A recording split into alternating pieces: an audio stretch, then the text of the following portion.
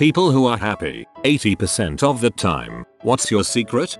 Knowing that happiness doesn't have to mean that I'm giddy with joy. Not being sad is happy too. This, going through rough times teaches you the value of just okay and appreciation for the simple things that make up a normal day. Admitting most things are out of my control and learning to accept what life brings and deal with it rather than let it bother me emotionally.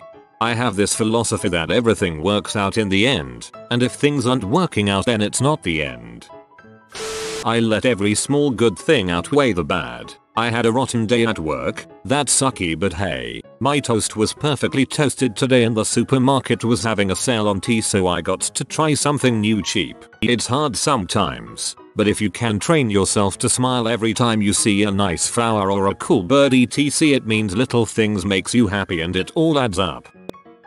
I'm very happy. I'm not a bubbly personality. I don't smile all the time. I probably don't come across as a happy person but I love my life and wouldn't change it. My secret if you could call it that, is that I'm picky about who I keep in my life. I only have healthy, supportive relationships. My husband is amazing and we make the best team. Our daughter is an extremely happy kid. Our home is very peaceful and happy. If I had married some of my exes I know I'd be miserable right now. Choosing the right people to share your life with is so important. I'm just blown away by people not being in awe of the world around them. I feel like I live in a constant state of amazement that I'm alive, much less in such relatively privileged circumstances. It's very hard for me to get stressed out about personal issues because how bad could it really be? The only thing that truly upsets me is death. Be it someone I know or something terrible happening somewhere in the world. Other than that, what's the big deal? This is in reference to people who are simply pessimistic. Not people who are legitimately depressed of course. A really old guy told me that pain in life is unavoidable. Suffering is a choice. With a few exceptions he was pretty spot on. Pain is inevitable. Suffering is optional. Say you're running and you think, man, this hurts. I can't take it anymore. The hurt part is an unavoidable reality, but whether or not you can stand anymore is up to the runner himself. Haruki Murakami being raised by two optimists. Not a freaking clue. I wish I did because I'd like everyone to be happy as much as I am. I've been feeling this lately. I wish that everyone would stop taking things quite so seriously and enjoy life a little. I feel as though I'm perpetually the one trying to pick people up emotionally. Not that I mind. I like being supportive. But it makes me sad that they can't just be happy. Gratitude. Humor. Beer too but that's not really a factor. Okay beer. Seriously, if you can joke about all the fricked up crap that happens, as if it's all predictable because it pretty much all is, then life is a heck of a lot more fun. Wasn't it Charlie Chaplin who said, life is a tragedy in the close up but a comedy in the long shot. I used to listen to motivational tapes on the long drive to work for several years and the content is now embedded in my brain. Things will only hurt you as much as you let them hurt you. Basically just have an I ain't got time to bleed attitude about life. I grew up in Nigeria and saw families living on roadsides in huts and I realize a lot of people have it worse than I do and at the end of the day, I have a wonderful family, a pantry stocked with food, a roof over my head and a warm bed to sleep in. My problems are rather small compared to what many in the world have to deal with. If I've had a particularly bad string of luck, i.e. the printer spews ink on you, you lock yourself out of your house, etc. I laugh and realize how many stars must have had to align perfectly in order for everything to occur in the same day or week and count myself lucky. Self-compassion and forgiveness. Remembering everything is temporary, even our own lives so enjoy what you can and be content with what you have. Constant work on emotions.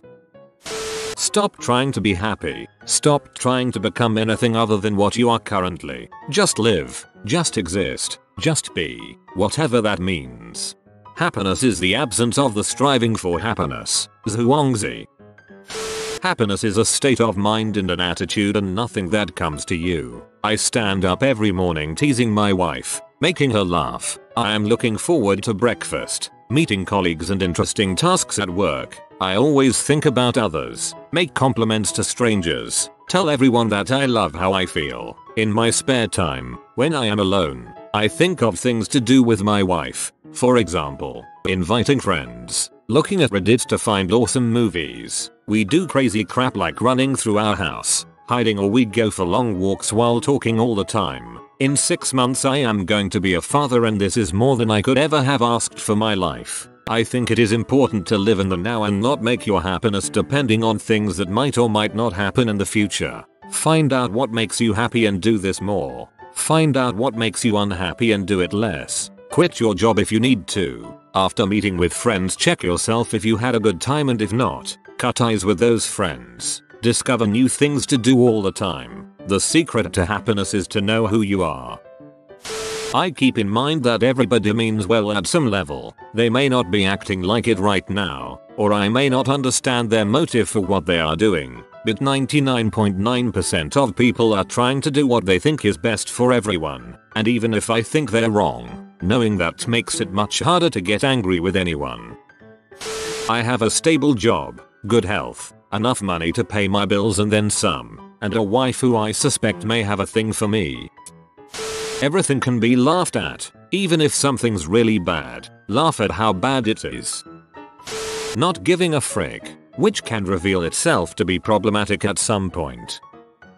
I tried being miserable once, and it sucked. Seriously though, I've had some bad times and compared to that, there's always something to be happy about. It's sometimes a conscious choice. Clinical depression is real though, so this doesn't necessarily apply to folks with that.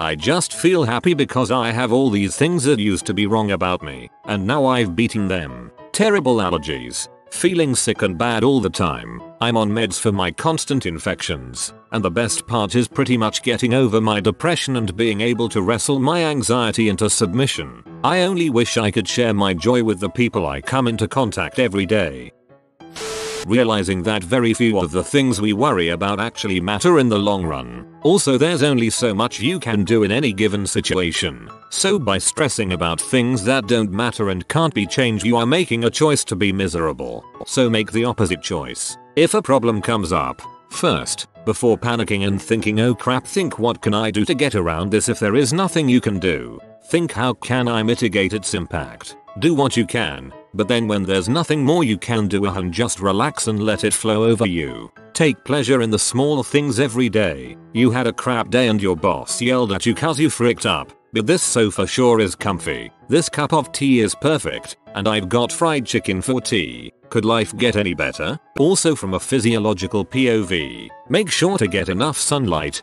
fresh air, eat your veg, walk places regularly, get a hobby, and talk to the people you love on a regular basis. At the end of the day we are animals, highly social ones at that, so we need certain things to keep happy just like you give a gerbil a wheel and a gnaw stick and a friend to play with.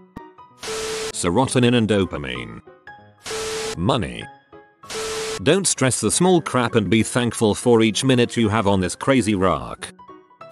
Low expectations. I've never been one of those people who expect great joy or deep meaning in life. You do your best and get on with it. I don't have a super exciting, glamorous career, an oceanfront mansion, or a chef preparing gourmet meals. I have a job, a roof over my head, enough to eat, and friends and family I love and who love me, and it's enough, and life is good. I started to better understand control my emotions. I forget the source. It was some self-helpish book, but I kind of remember a few examples and the whole idea really stuck with me. Say you're out to dinner and the waitress accidentally knocks your drink onto you. You're probably going to get mad. But why? I'm all wet now okay. But why does that have to make you mad? My shirt and pants are ruined and I'm cold I see. And that sucks. But why does that have to make you mad? So says something that upsets you. Guys cuts you off in traffic. Something just doesn't go your way, whatever, you're upset. But why does that thing have to upset you? Why can't you laugh at it instead, or go on with your day with the same attitude you had before? I can't explain it as well as the book did, and obviously if you have actual depression you aren't going to fix a chemical imbalance with a little introspective thinking, but it's done wonders for me and the friends I've talked about it with. It's a choice, really, not to be some sappy moron who quotes other people, but I literally live by this. The longer I live, the more I realize the impact of attitude on life. Attitude, to me, is more important than facts. Dot. The only thing we can do is play on the one string we have, and that is our attitude. I am convinced that life is 10% what happens to me and 90% how I react to it. By Charles Swindoll. My cat is just adorable. Hard to not be happy with that little smiling face. 1. Don't let stupid crap you can't really control get to you. 2. If you are in a situation that's bad for whatever reason, realize it will almost always get better. 3. Most people are really good. If they aren't it's just because they are oblivious. 4. If you have people in your life that are causing lots of drama, cut them out of your life. Some people just live to stir up crap. 5. Do nice things for people for no reason. Random acts of kindness is like planting seeds of happiness that will bear fruit when they you least expect it. 6. May not be true for everyone but I just assume I'm happy if I really don't have any reason to be down. My dad taught me two things that I will always remember. Well, really, raised us in a way that these values were embedded in us. One of them was never, ever look at someone else's plate. He constantly reminded us to focus on our own lives and not to compare ourselves to others, who may seem to have more or better things. It became a way of life, and I can honestly say that as a 30 year old female, I do not compare myself to other women, relationships, friends jobs, cars, homes, etc. It really helps you be happy with what you have, and be genuinely happy when your friends achieve or acquire something. The second was never to push yourself in where you are not wanted, meaning, don't run after anyone. If you feel you have overstayed your welcome, preserve your dignity and leave. In short, a lesson in self-esteem. Those two tie together, where you value yourself and don't compare yourself to others, definitely shaped my worldview and my happiness. I would say that I am happy whatever that means, over 80% of the time. Thanks dad. Recognize things are not in your control. Make peace with that fact. Learn to roll with it. Gratitude practice. It's a habit. Some combination of drugs and or self-delusion. Ah, an honest answer. By telling yourself you can either be sad angry 80% of the time or happy 80% of the time, or that nothing really matters in the end. Surround yourself with what makes you happy and eliminate those that don't. Believing that happiness is a choice. The day is going to go by no matter what, so I'd rather choose to do it happily because I have never once looked back and was proud of being angry, upset, sad. If you can do something about a situation, why worry? And if you can't do something about a situation, why worry? I am only awake 20% of the day. You have been visited by the ingenious Joe. Comment brain so you always see the glass half full. If you are new to the channel, you can subscribe. I publish new videos every day. Until then, check another video, or don't. Either way, have a great day you magnificent people.